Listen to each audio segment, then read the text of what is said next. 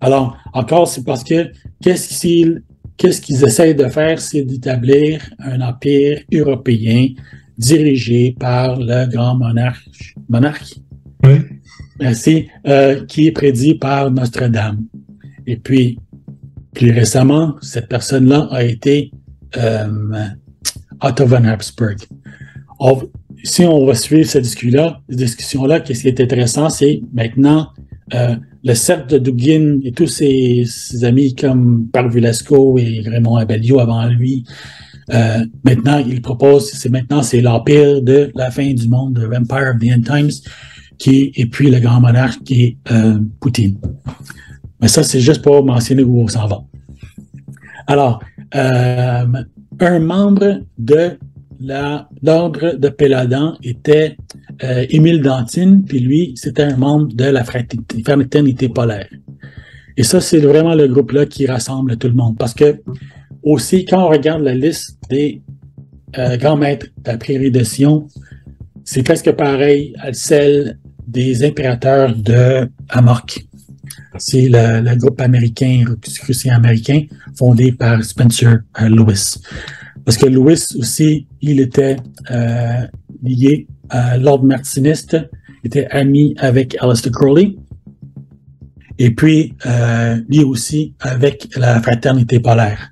Alors ça, c'est un groupe qui prétendait avoir euh, venu en contact avec un oracle qui était euh, euh, Agartha, encore.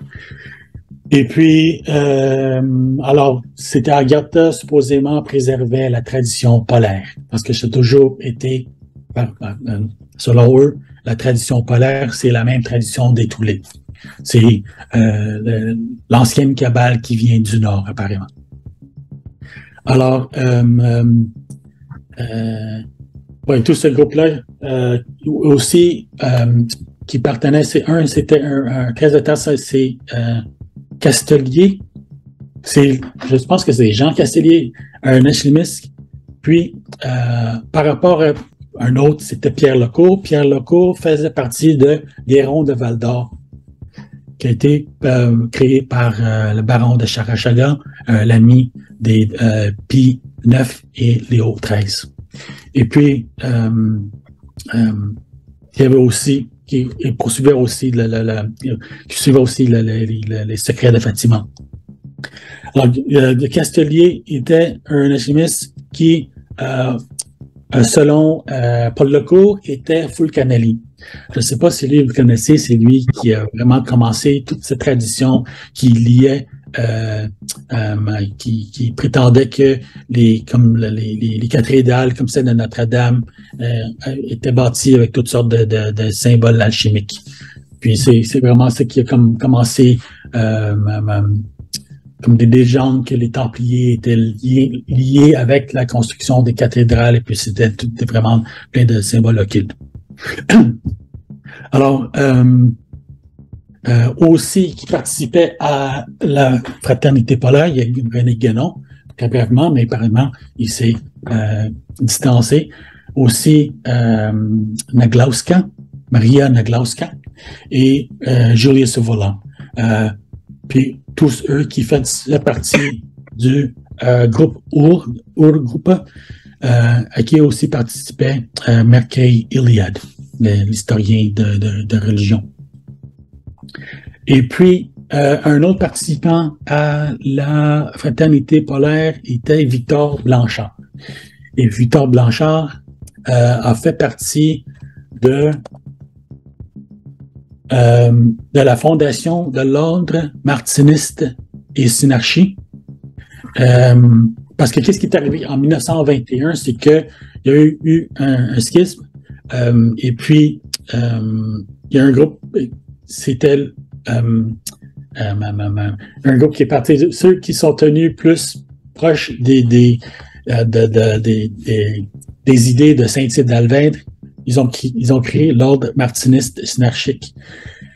Et puis, ce mouvement-là euh, a évolué dans le mouvement synarchique d'Empire, et ça, c'est le groupe qui a été mené par euh, Jean Coutreau. Jean Coutreau, euh, c'est lui qui était vraiment c'est lui qui était l'auteur de Le Pacte synarchique, un document très intéressant. Il a aussi créé, avec Julian Aldous Huxley, il a créé le Centre pour l'étude des problèmes humains. Uh-huh. Et l'autre personne, c'était un groupe qui était financé par les Rockefeller. Et l'autre personne qui a, euh, parti, a participé était Taillard de Chardin. Alors vraiment un, un, un début. Euh, oui, c'est vraiment le, le début de, de, tant de choses parce que Aldous Huxley, c'était lui vraiment qui a inspiré euh, toute l'étude et le, le, le, programme de la CIA de MK Ultra. Et puis, euh, et puis Taillard de Chardin, lui, deux choses. Il est vraiment le parrain de euh, New Age et mais aussi du transhumanisme. Ah oui. Il est considéré le patron de l'Internet, mais la personne euh, qui est la première d'avoir euh, mentionné ou inventé le terme transhumanisme était Jean Coutreau. Exact. Ouais. Exact. Et Jean Coutreau étant ami de Aldous Huxley, donc je rappelle l'auteur du meilleur des mondes, euh, Aldous Huxley a refilé cette expression à son frère, Julian Huxley, Ouais. qui l'a utilisé dans son livre sorti en 1957, j'ai plus euh, le titre exact. Et le même Julian Huxley qui sera à l'origine de la création n'était pas seul du WWF, euh, des choses de ce style on retrouvera, mais ça je crois l'avoir déjà dit, parmi, euh, parmi tous les présidents, un certain euh, Philippe d'Édimbourg, le mari de la reine Elisabeth II.